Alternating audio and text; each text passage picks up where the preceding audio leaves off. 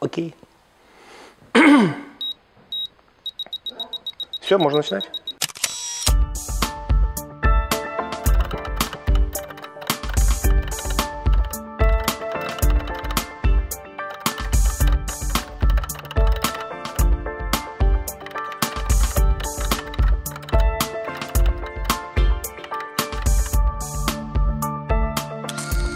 Здравствуйте, я Александр Ляпин, главный редактор фотографического портала Фото.ua.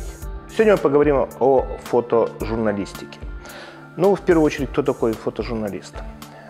Есть в Википедии, там можно найти определение. Это, ну, одна, эта энциклопедия народная рассказывает, что это за люди. Но на самом деле все меняется, э, понятия как-то расширяются, а то и вообще исчезают. В данном случае фотожурналистом может быть каждый. Каждый человек, кто имеет снимающее устройство, видео, фото, телефон или это фотоаппарат, что-то еще, не имеет никакого значения. Потому что сейчас, собственно говоря, все СМИ, ну, особенно на Западе, ориентированы на народную фотожурналистику. То есть где-то что-то произошло, любой человек, оказавшийся там с снимающим устройством, может прислать в любое агентство мира свои фотографии, и их могут опубликовать и купить различные СМИ. Вот. И получается, что, собственно говоря, а, профессия фотожурналиста немножко нивелируется вот этой массовостью. Но, с другой стороны, есть э, фотоагентства, которые, э, в которых работают профессиональные фотожурналисты. Почему профессиональные? Ну, потому что они там в штате и зарабатывают большие деньги. Сейчас уже, правда, меньше, чем раньше потому что вот эта народная журналистика съела немножко их денежку. Но, тем не менее, народная журналистика, журналистика хоть и дает оперативную информацию, но она не дает качества изображения.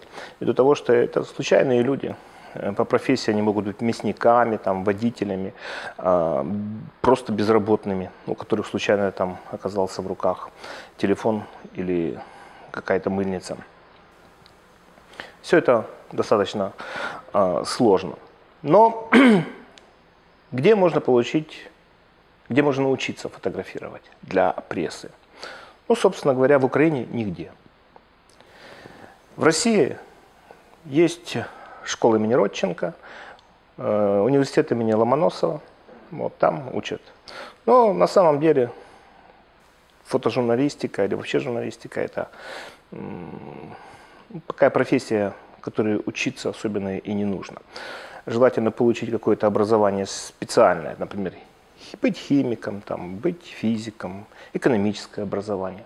А потом месяца два походить на курсы, где бы вас научили систематизировать материалы, работать с событием, понимать его, излагать правильно, понятно, анализировать по-журналистски. И вы профессионал. В газетах, где я работал, и был главным редактором даже, журналистов за журналистским образованием было очень мало. И я не могу сказать, что они были лучшими журналистами. А фотографов с высшим образованием я вот знаю только двоих, ну, которые вошли так хорошо в прессу с киевским образованием э, высшим. Это Иван Черничкин и Степан Рудик. Вот. Есть еще ребята, которые закончили тут бывший техникум на белорусской, но как-то так они не выделяются особыми э, талантами и интересными фотографиями. Пока. Это ж труд э, сумасшедший. Но можно как бы э, поучиться, поездив по воркшопам, мастер-классам. Можно за деньги, можно выиграть. И пообщавшись с великими мира сего, из фотографического мира, из фотожурналистского мира, вот, э, перенять у них некоторые приемы и навыки. Обычно такие мастер-классы проходят э, ну, неделя, две, три, месяц, три месяца. Вот. Есть приопресс фото, там такие курсы. Ну, их очень много в мире. Хочешь плати, хочешь э, попытайся выиграть место в конкурсе. Чтобы выиграть, например, необходимо предоставить некий интересный проект, пусть даже не завершенный, но он должен быть оригинальным и показать ваши качества как не только фотографа, а исследователя, аналитика.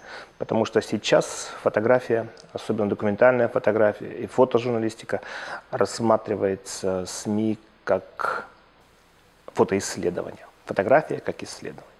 Фотография как исследование сиюминутного события, некоего явления в мире, которое происходит, э, долгое наблюдение или мгновенная фиксация. Но эта фиксация, она должна показать всю суть э, данного события. Ну, сейчас редко, кстати, одиночными фотографиями журналистика э, пользуется. Это обычно серии, там репортажи, вот как вот эти события в Турции. А одиночные фотографии там трудно рассказать. Ну, иногда берется какая-то яркая фотография, но все-таки о масштабах события э, рассказывает серия. Ну, и фотография в современной журналистике а, имеет колоссальное значение ввиду того, что она визуализирует текстовую информацию, а иногда она самостоятельно.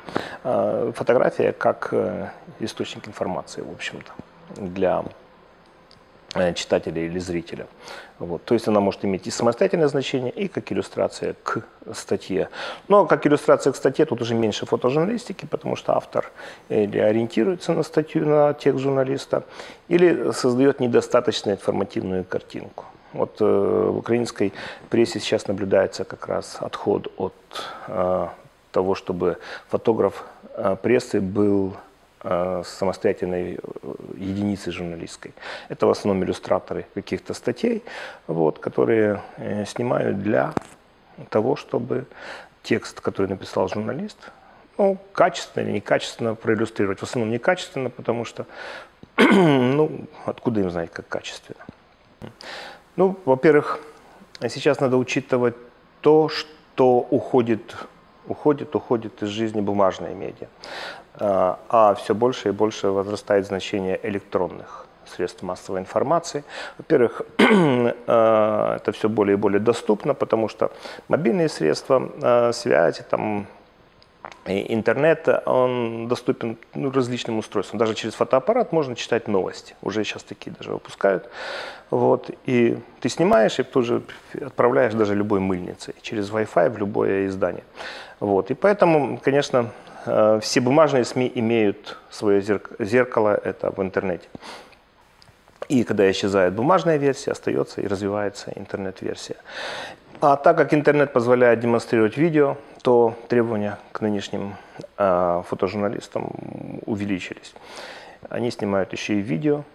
И вот я часто вижу Ефрема Лукацкого, например, из Associated Press, который идет с фотоаппаратом, но снимает видео берет интервью, которое, в общем-то, выходит в виде, видеоинтервью, а не текстово, э, на этих э, сайтах агентств. И продается это. Э, новые формы появились. Это сочетание фотографии, текста, видео, музыки даже, для того, чтобы усилить эмоциональный эффект, образный. Вот, это называется мультимедийные проекты. Они э, скорее не сиюминутные там, событийная журналистика, а это уже какая-то аналитика, где журналист э, должен рассказать о том, что происходит, о том, что увидел, иногда даже свои переживания по этому поводу, что уже отклонение от какой-то а, каких-то канонов журналистики, где э, журналист не должен показывать свои эмоции, свое отношение к этому. В мультимедийных часто это как бы есть, присутствует. И многие журналисты оспаривают данный канон этический журналистики, что нельзя эмоционально реагировать на те или иные э, события. Но это сложно, очень сложно делать такие вещи, потому что технически э, фотоаппарат вроде бы позволяет, а образование, навыки, умения, взгляд, развитие чувственности у этих э, людей с фотоаппаратами часто на нуле оно не позволяет им создавать качественный продукт. Я видел очень много, работал в жюри э, конкурсов этих мультимедийных проектов. Увы, увы, увы. Все очень плохо. Ну, единственное, там художники иногда делают, но художник, он, э, там нужно обладать как бы, умением себя смотреть больше, чем то есть соединять свои переживания, свой внутренний мир, свой интеллект э, и то, что вокруг происходит в этом мультимедийном проекте. Журналисту сложнее, он должен анализировать, он должен уметь говорить, он должен уметь писать. Наших э, ребят этому никто не учит. Они даже считают, что это ну, как-то даже неприлично уметь писать. Хотя, если мы возьмем любого западного хорошего, там плохих, в общем-то, и нету в прессе, они э, обладают этими качествами как раз. Они великолепно пишут, у них есть книги текстовые, они прекрасно фотографируют, они умеют анализировать, они понимают, что происходит в мире, и они могут сформулировать ту проблему, которая сейчас на данный момент волнует мировую общественность, людей, и выдавать это э, в СМИ. у нас отсутствие образования не позволяет фотографам э, вообще быть, ну, называться фотожурналистами. Они люди с фотоаппаратами, которые бегают, ну, как, как, я не называю фотожурналистами тех, кто бегает и снимает митинги постоянно там, или сидит э, в Верховной Раде и клацает там э, наиболее одиозные фигуры. Э, нет, ну какие это фотожурналисты? Это просто люди с фотоаппаратами, которые на данный момент занимаются, вот снимают не свадьбы, а снимают э, вот э, иллюстрации к статьям. Чем прикольнее фотография, тем, может быть, она там интереснее проиллюстрирует какую-то статью. Такой аналитики нет. Вот мне нравится разве что э, можно назвать современной фотожурналистикой работу Соделя, ладно, который там взял себе э, за тему вот, фотографировать, через часы передавать, э, рассказывать о состоянии, об э, социальном статусе депутатов. Вот, насколько это вот, оно работает, мы видим, потому что он там выстроил целые ряды вот этих социальных статусов. Одни, одни депутаты обижаются на других, что у тех часы такие, у этих такие, а публика, люди видят, что во что это что, что такое эти депутаты, в общем-то. Вот это вот один из примеров такой аналитической журналистики. Ну, Содор он умный, вообще-то, такой парень. Он, он отличается очень сильно от всех. Вот. А таких, к сожалению, очень мало. Очень. А, и тут я даже не знаю, поможет ли образование.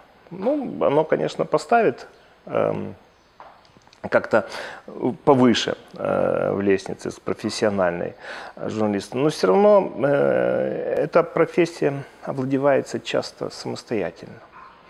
Нужно просто очень хотеть снимать так, как Сальгада там, или какой-нибудь другой там Нахтовой.